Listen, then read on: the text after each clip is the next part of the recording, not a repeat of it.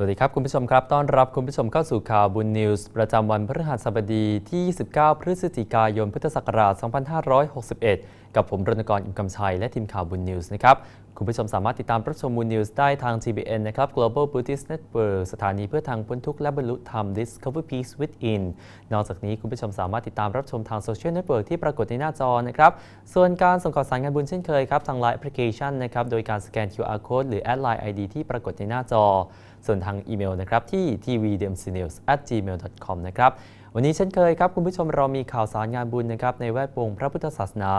รวมไปถึงข่าวสารงานบุญในองค์กร ข่าวสารงานบุญที่เกิดขึ้นของศูนย์ปฏิบัติธรรมและศูนย์ส่งเสริมจริยธรรมทั่วประเทศไทย และวัดไทยในต่างแดนทั่วทุกมุมโลกมาฝากคุณผู้ชมเช่นเคยนะครับโดยเรามาเริ่มต้นที่ข่าวแรกกันนะครับ เป็นกิจกรรมที่เกิดขึ้นนะครับในวัดพระธรรมกายจังหวัดปทุมธานีครับ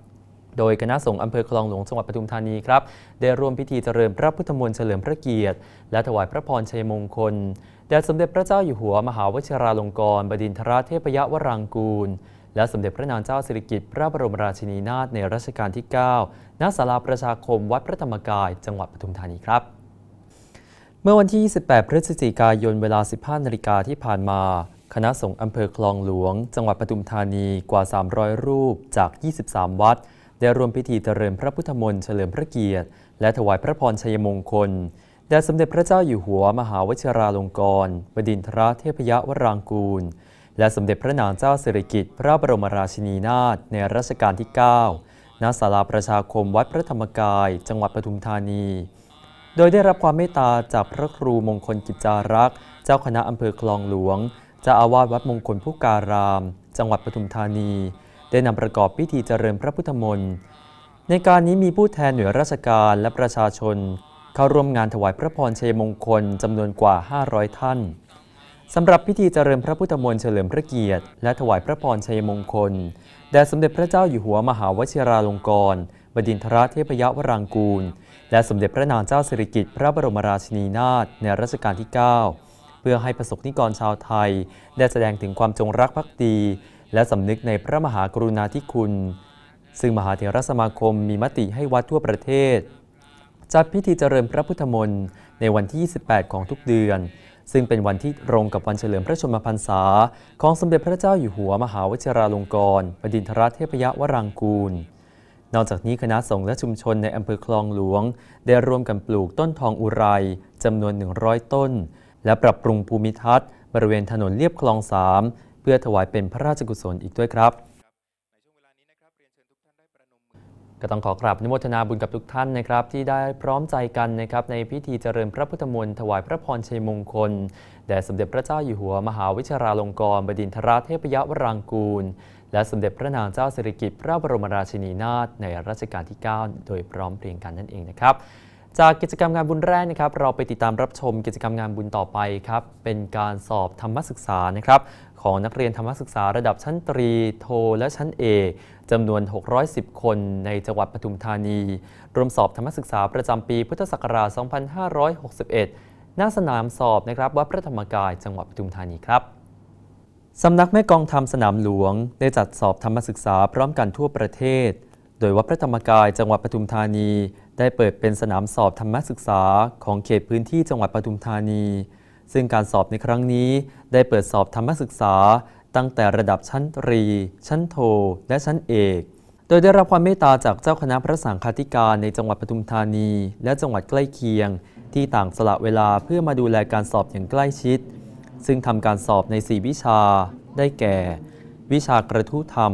วิชาธรรมวิภาค วิชาพุทธประวัติ วิชาพระธรรมวินัย โดยมีโรงเรียนประถมศึกษา 3 โรงเรียนในเขตพื้นที่ตำบลคลอง 3 จังหวัดปทุมธานี เข้าร่วมการสอบในครั้งนี้ ประกอบด้วย โรงเรียนวัดกลางคลอง 3 โรงเรียนวัดสังอ่ำวิทยา และโรงเรียนเทศบาลท่าโขลงสำหรับการเรียนธรรมศึกษานั้น หมายถึงข้อปฏิบัติที่เป็นหลักในชีวิต ดังนั้นธรรมศึกษาก็คือการศึกษาข้อปฏิบัติในการดำเนินชีวิตของทุกคนในโลกนี้ เพื่อนำไปปฏิบัติให้เกิดความสุขความเจริญในชีวิต เกิดประโยชน์ต่อตนเอง ต่อสังคมส่วนรวมและประเทศชาติ การเรียนธรรมศึกษาจึงต้องเรียนให้รู้ ให้สามารถพิจารณาให้เห็นความจริงตามหลักของธรรมะ คือการมองให้รู้ว่าปฏิบัติเช่นนี้แล้วได้ผลจริงหรือไม่ หรือปฏิบัติแล้วเกิดประโยชน์อย่างไร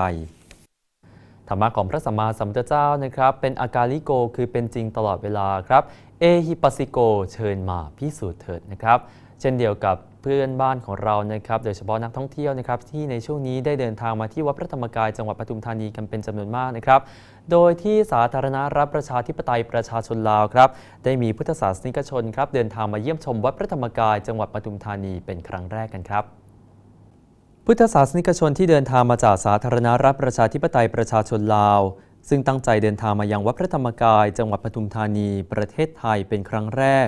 ได้มาเยี่ยมชมวัด จากคำแนะนำของผู้รู้จักที่เคยมาวัดพระธรรมกายก่อนหน้านี้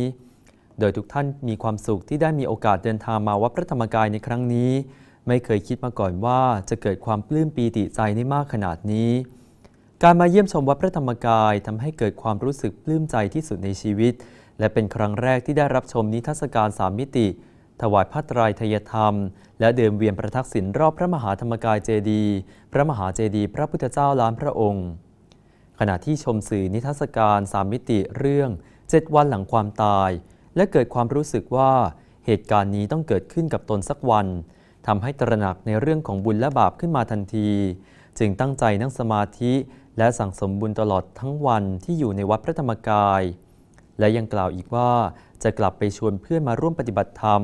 พร้อมทั้งร่วมกิจกรรมงานบุญของวัดพระธรรมกาย จังหวัดปทุมธานีในประเทศไทยอย่างแน่นอนครับ ก็ต้องขอกราบอนุโมทนาบุญนะครับกับพุทธศาสนิกชนนะครับที่จะได้ทำหน้าที่เป็นกัลยาณมิตรนะครับในการเชิญชวนเพื่อนๆนะครับได้เดินทางมาที่วัดพระธรรมกาย จังหวัดปทุมธานี โดยเฉพาะในการเวียนพระทักษิณรอบพระมหาธรรมกายเจดีย์พระมหาเจดีย์พระพุทธเจ้าลานพระองค์นั่นเองนะครับ มาต่อกันที่ข่าวต่อไปนะครับเป็นกิจกรรมงานบุญที่เกิดขึ้นณธรรมอุทยานบ้านแป้งนะครับจังหวัดสิงห์บุรี โดยมีพิธีทอดผ้าป่าสารพัดบุญนะครับ ซึ่งรายละเอียดจะเป็นอย่างไรเดี๋ยวรอติดตามกันในขยายข่าวบุญในช่วงนี้ครับ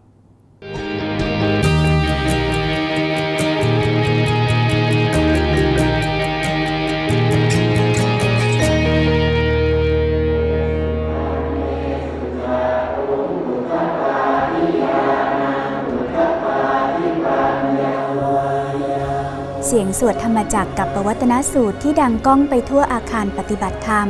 เป็นเสียงเริ่มต้นของการประกอบพิธีกรรมงานบุญ ทอดผ้าป่าสามัคคี ที่จัดขึ้นณธรรมอุทยานบ้านแป้ง ผืนแผ่นดินอันศักดิ์สิทธิ์ถิ่นกำเนิดของผู้มีบุญญาธิการ ซึ่งกิจกรรมในวันนี้ คณะเจ้าภาพผู้มีบุญต่างเดินทางไกลมาจากหลาย ๆ จังหวัด รวมถึงเหล่าคณะกัลยาณมิตรในจังหวัดสิงห์บุรี ที่พร้อมใจกันมาร่วมงานบุญอย่างคึกคักบุญบันเทิง ภายหลังเสร็จสิ้นกิจกรรมสวดมนต์บทธรรมจักรกับประวัตนสูตร คณะประธานผ้าป่าสามัคคี และผู้มีบุญทุกท่านได้ร่วมกันอัญเชิญผ้าป่าเข้าสู่ศูนย์กลางพิธีขบวนสายทานแห่งศรัทธา มหาเศรษฐีผู้ใจบุญคำจุนพระพุทธศาสนา ต่างอัญเชิญผ้าป่าด้วยใจที่ปิติเบิกบาน สละทรัพย์ ที่หามาได้โดยยาก เพื่อยังประโยชน์ให้เกิดขึ้นแก่พระพุทธศาสนา ในส่วนของพิธีกรรมครั้งนี้ ได้รับความเมตตาอย่างสูงยิ่ง จากพระครูวุฒิธรรมประสุทธิ์เจ้าอาวาสวัดกลางธนรินเป็นประธานสงฆ์โดยก่อนที่จะประกอบพิธีทอดผ้าป่า ผู้แทนคณะเจ้าภาพทั้งสามท่าน ได้จุดประทีปรวมใจถวายเป็นพุทธบูชา และน้อมบูชาธรรม แด่พระมงคลเทพมุนีสดจันทสโร จากนั้นเป็นการปฏิบัติธรรมตามเสียงนำนั่งสมาธิของหลวงพ่อ เพื่อให้ใจมีความบริสุทธิ์ผ่องใส เหมาะสมที่จะเป็นภาชนะรองรับบุญใหญ่ เมื่อถึงเวลาอันเป็นมงคล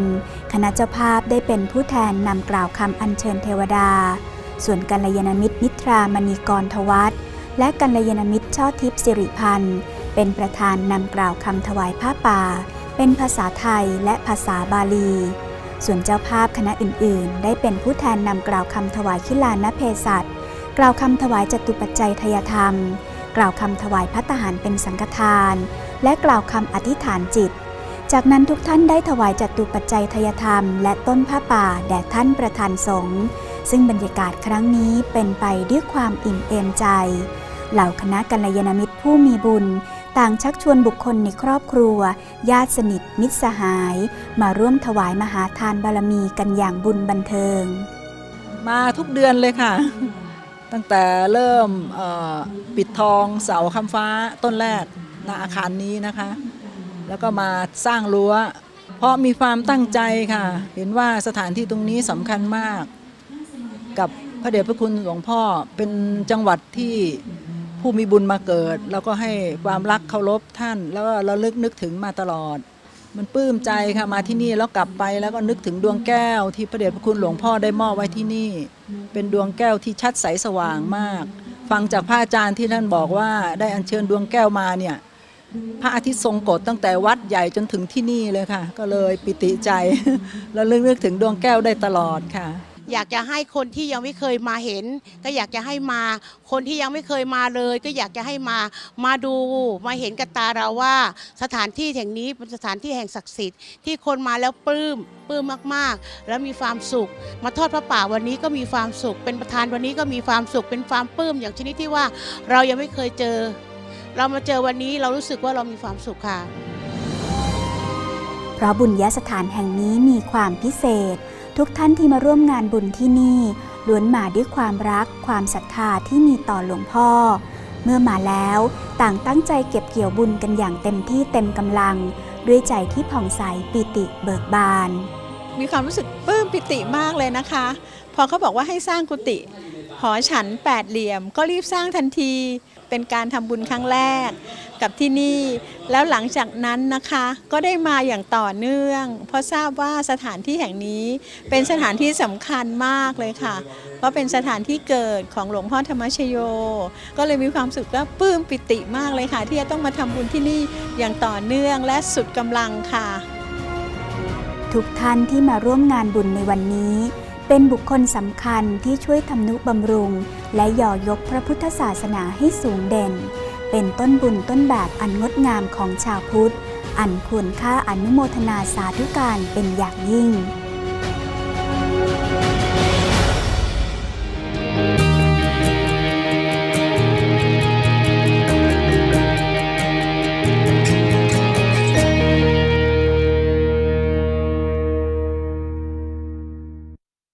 ก็ต้องขอกราบอนุโมทนาบุญกับทุกท่านนะครับ ก็ถือได้ว่าการทอดผ้าป่าสารพัดบุญในครั้งนี้ครับ จะเป็นทางมาแห่งบุญกุศลของพวกเราโดยเฉพาะทานนามัย บุญที่สำเร็จจากการถวายทานหรือการให้ทานนั่นเองครับ มากันที่ข่าวต่อไปนะครับยังเป็นกิจกรรมงานบุญนะครับที่เกิดขึ้นในบุญญกริยาวัตถุทั้ง 10 ประการก็คือทานนามัยครับโดยเฉพาะข้อแรกนั้น เป็นการถวายกฐินนะครับประจำปีพุทธศักราช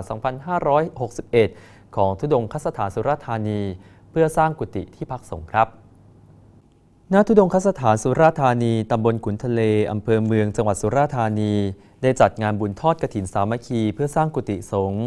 ภายในงานมีสาธุชนในจังหวัดสุราธานีและใกล้เคียง เดินทางมาร่วมงานกันเป็นจำนวนมาก รวมทั้งนักเรียนนักศึกษา ได้มาร่วมงานบุญทอดกฐินสามัคคีในครั้งนี้ โดยคณะท่านประธานกฐิน และสาธุชนทุกท่านได้ตั้งริ้วขบวนอัญเชิญผ้ากฐิน และบริวารกฐิน เข้าสู่ศูนย์กลางพิธี ซึ่งประธานกฐินในปีนี้ คือกัลยาณมิตรกนก อภิรมรัตและกัลยาณมิตรพรันพงศ์อภิรมรัตโดยได้รับความเมตตาจากพระสุรพงศ์ธรรมวังโส เดินทางมาเป็นประธานสงฆ์นำทุกท่านบูชาพระรัตนตรัยและสวดมนต์บทธรรมจักรกปวัฒนสูตร น้อมถวายเป็นพุทธบูชา จากนั้นได้ร่วมกันปฏิบัติธรรมเพื่อกลั่นกายวาจาใจให้ใสสะอาดบริสุทธิ์ เหมาะสมเป็นภาชนะรองรับบุญกุศล จากนั้นท่านประธานกฐิน ได้กล่าวคำถวายผ้ากฐิน พร้อมทั้งได้น้อมถวายผ้ากฐินแด่ผู้แทนคณะสงฆ์นอกจากนี้ภายในงานทุกท่านยังได้ร่วมพิธีกล่าวคำถวายจตุปัจจัยเทียธรรม โดยมีกัลยาณมิตรเพนสี อินพิบูลและกัลยาณมิตร ชุมศรีขจรศักดิ์สิริกุลนำกล่าวคำถวาย ทางด้านกัลยาณมิตรอภินันอภิรมรัตและกัลยาณมิตร พิศวริน กิติสุรัตพงศ์ได้นำกล่าวคำถวายพระตาหารเป็นสังฆทาน จากนั้นคณะเจ้าภาพและสาธุชนผู้มีบุญทุกท่าน ได้น้อมนำปัจจัยเทียธรรมถวายแด่ท่านประธานสงฆ์และคณะสงฆ์และในโอกาสนี้ท่านประธานสงฆ์ได้กล่าวสมโภชนียกถา ก่อนที่ทุกท่านจะได้ร่วมกันถ่ายภาพประวัติศาสตร์ เพื่อตรึกระลึกนึกถึงบุญกุศลที่ได้ร่วมกันทำในครั้งนี้ครับ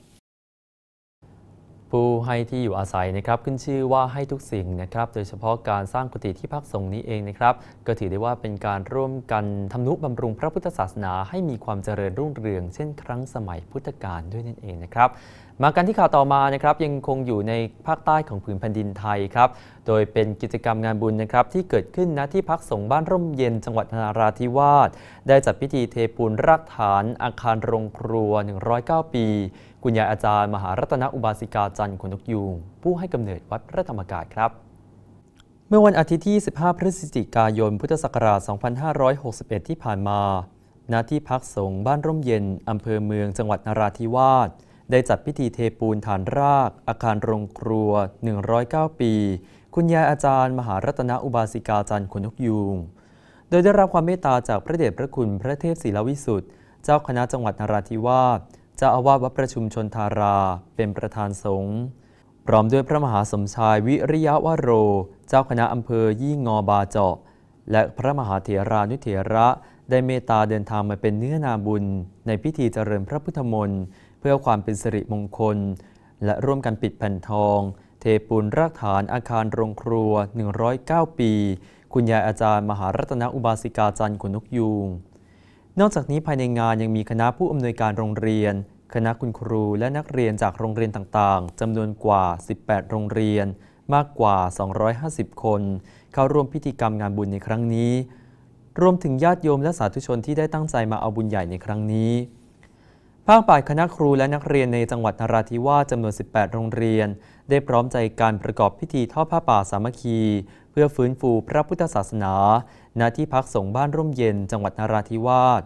ถึงแม้ว่าน้องๆจะตัวเล็กๆ แต่มีหัวใจที่ยิ่งใหญ่ มาร่วมกันสืบทอดและรักษาอารยประเพณีอันงดงามของชาวพุทธ อีกทั้งยังเป็นกิจกรรมที่ช่วยปลูกฝังศีลธรรมให้แก่เด็กๆ ตั้งแต่ยังเยาว์วัย และเป็นที่ทราบกันดีว่า แม้สี่จังหวัดชายแดนภาคใต้ จะกำลังประสบปัญหาเหตุการณ์ความไม่สงบ แต่สิ่งเหล่านี้ก็ไม่ได้เป็นอุปสรรคในการทำความดีของเด็กๆ แม้แต่น้อย บูชาจะปูชนียานังนะครับ เอตัมมังคลมุตตมัง การบูชาบุคคลที่ควรบูชาเป็นมงคลอันสูงสุดนั่นเองครับ ก็ถือได้ว่าที่พักสงฆ์บ้านร่มเย็นจังหวัดนราธิวาสนะครับ ก็ได้ปรารภเหตุนะครับในการกตัญญูบูชาธรรม แด่คุณยายอาจารย์มหารัตนอุบาสิกาจันทร์ขนกยูงผู้ให้กำเนิดวัดพระธรรมกายนั่นเองนะครับ มากันที่ข่าวต่อมานะครับก็ยังเป็นกิจกรรมนะครับที่เราจะได้ร่วมกันอนุโมทนาบุญครับกับยอดของการสวดธรรมจักรปะวัตนสูตรน้อมถวายเป็นพุทธบูชา โดยเฉพาะก้าวเข้าสู่การฉลองชัยชิตังเม ในวันที่ 21 ธันวาคมพุทธศักราช 2561 เพื่อน้อมบูชาธรรมแด่คุณครูไม่เล็กนะครับหรือว่าหลวงพ่อตตะชีโวนั่นเอง โดยวันนี้ครับเรามี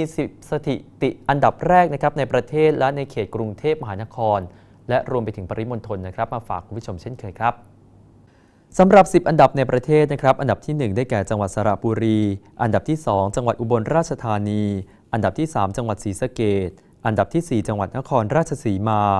อันดับที่ 5 จังหวัดสุโขทัย อันดับที่ 6 จังหวัดกาลสิน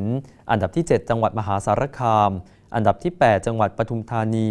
อันดับที่ 9 จังหวัดลำพูน และอันดับที่ 10 จังหวัดชลบุรีครับส่วน 10 อันดับของกรุงเทพมหานครและปริมณฑลมีดังต่อไปนี้ครับ อันดับที่ 1 นครหลวง 14 อันดับ 2 แก้วภูทร8อันดับที่ 3 นครหลวง 10 อันดับที่ 4 นครหลวง 6 อันดับที่ 5 นครหลวง 1 อันดับที่ 6 นครหลวง 9 อันดับที่ 7 นครหลวง 8 อันดับที่ 8 นครหลวง 13 อันดับที่ 9 นครหลวง 7 และอันดับ 10 นครหลวง 12 ครับ ก็ต้องขอกราบอนุโมทนาบุญกับทุกท่านนะครับที่ได้ร่วมกันนะครับในการสวดธรรมจักรกับปะวัตนสูตรน้อมถวายเป็นพุทธบูชาแด่องค์สมเด็จพระสัมมาสัมพุทธเจ้า รวมไปถึงในวันที่ 21 ธันวาคม พุทธศักราช 2561 นี้ครับ เราจะได้พร้อมใจกันในการสวดธรรมจักรกับปะวัตนสูตร บูชาธรรมแด่หลวงพ่อทัตตาชีโว หรือคุณครูไม่เล็กของพวกเรานั่นเองนะครับ ต่อกันด้วยนะครับกิจกรรมงานบุญของวัดไทยในต่างแดนครับในช่วงนี้ World News นะครับโดยคุณสุชาดาระยะอิน มีกิจกรรมงานบุญจากวัดไทยในต่างแดนมาฝากคุณผู้ชมทุกท่านเช่นเคยครับ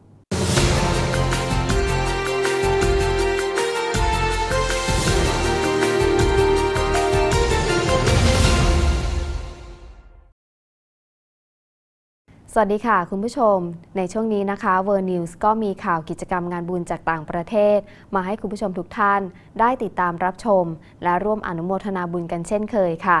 โดยในวันนี้นะคะเราจะไปเริ่มกันที่วัดพระธรรมกายนางาโนประเทศญี่ปุ่นค่ะ ได้จัดกิจกรรมงานบุญ พิธีจุดประทีปกระทงธรรม และพิธีปุพพาเปตพลีค่ะสำหรับพิธีกรรมภาคเช้า สาธุชนผู้มีบุญทุกท่าน ได้ร่วมกันสวดมนต์บทธรรมจักรกับปวัตนสูตร ก่อนที่จะได้ร่วมกันตักบาตรและถวายพระตาหารเพนแด่พระพิสุสงฆ์ณหอฉันคุณยายอาจารย์ ส่วนภาคบ่ายเป็นพิธีบุพพาเปตพลีทำบุญอุทิศส่วนกุศล ให้แก่หมู่ญาติที่ล่วงลับไปแล้ว โดยกัลยาณมิตรมาริโกยามาคาว่าเป็นประธานจุดเทียนทูบบูชาพระรัตนตรัย ก่อนที่คณะสงฆ์จะสวดพระพุทธมนต์ ส่วนคณะเจ้าภาพและสาธุชน ก็ได้ร่วมกันทอดผ้าบางสุกุล พร้อมทั้งถวายปัจจัยเทียธรรมแด่คณะสงฆ์จากนั้นเป็นพิธีจุดประทีปกระทงธรรม เพื่อถวายเป็นพุทธบูชา โดยมีกัลยาณมิตรสุรณีชูญาติกัลยาณมิตรวันศิดากาธัญญกร และกัลยาณมิตรมาริโกยามาคาว่าได้นำกล่าวคำถวายประทีปภาษาบาลี ภาษาไทยและภาษาญี่ปุ่น ส่วนกัลยาณมิตรปริศนาเทราสว่า เป็นผู้แทนนำกล่าวคำอธิษฐานจิต ก่อนที่คณะสงฆ์จะได้จุดประทีปและลอยประทีปเป็นปฐมฤกษ์ตามด้วยคณะของท่านเจ้าภาพผู้มีบุญ ส่วนในช่วงสุดท้ายก็ได้ร่วมกันสวดมนต์บทธรรมจักรกับปวัตนสูตรด้วยค่ะ ด้านวัดพระธรรมกายเทนเนสซีประเทศสหรัฐอเมริกา ได้จัดงานบุญวันอาทิตย์ค่ะวัดพระธรรมกายเทนเนสซีประเทศสหรัฐอเมริกา ได้จัดงานบุญวันอาทิตย์สำหรับพิธีกรรมในช่วงเช้า ท่านประธานสงฆ์ได้นำสาธุชนผู้มีบุญทุกท่าน สวดมนต์และปฏิบัติธรรม กลั่นใจให้ผ่องใส ก่อนที่จะได้ร่วมกัน กล่าวคำอาราธนาศีล และถวายพระตาหารเป็นสังฆทาน โดยมีกัลยาณมิตรทองยศกัลยาณมิตรวาสนาคำวงศาและคณะ เป็นประธานนำกล่าวคำถวาย ส่วนกัลยาณมิตรเจมส์กัลยาณมิตรศรีวิไลอัมคา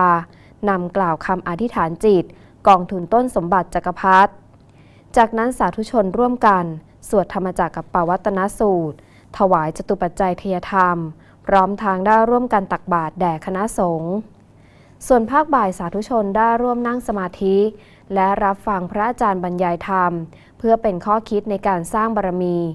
ซึ่งพิธีกรรมงานบุญในครั้งนี้ ทุกท่านต่างปลื้มปิติเป็นอย่างยิ่ง ที่ได้มาสั่งสมบุญร่วมกันในครั้งนี้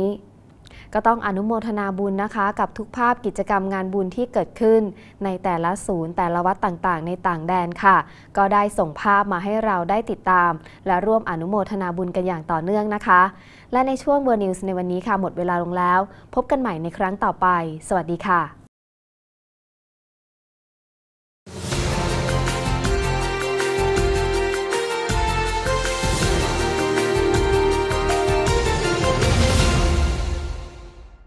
อบคุณนะครับ คุณสุชาดาริยะอินนะครับ ผู้ประกาศข่าวประกาศธรรมนะครับ ที่ได้นำภาพกิจกรรมดีๆ ของวัดไทยในต่างแดนมาฝากผู้ชมทุกท่านเช่นเคยผ่านบูรนิวส์นะครับ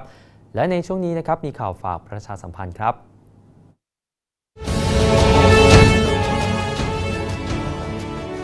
ขอเชิญท่านชายผู้มีบุญ บวชบูชาธรรมมหาปูชนียาจารย์ ปีที่สองเพื่อร่วมกิจกรรมธรรมยาตราเส้นทางพระผู้ปราบมารปีที่เจ็ด สมัครบวชฟรีตั้งแต่วันนี้ถึงวันที่ 1 ธันวาคม พุทธศักราช 2561 สอบถามรายละเอียดได้ที่โทรศัพท์ 02 831 1234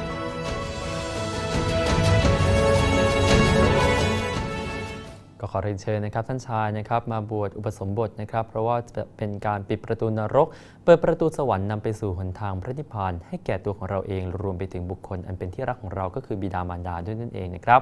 และในช่วงนี้นะครับบุญนิวส์ก็หมดเวลาลงแล้วนะครับ คุณผู้ชมสามารถติดตามรับชมบุญนิวส์ย้อนหลังได้นะครับ ทางโซเชียลเน็ตเวิร์กที่ปรากฏในหน้าจอขณะนี้นะครับ ส่วนการส่งข่าวสารงานบุญครับ ส่งได้ทางไลน์แอปพลิเคชันนะครับ โดยการสแกน QR code add Line ID รวมไปถึงการส่งทางอีเมลที่ tvdmcnews@gmail.com นะครับในช่วงนี้หมดเวลาลงแล้วนะครับ ผมรณกรยมกำชัยพร้อมด้วยทีมข่าวบุญนิวส์ขอลาไปก่อน ขอกราบอนุโมทนาบุญและสวัสดีครับ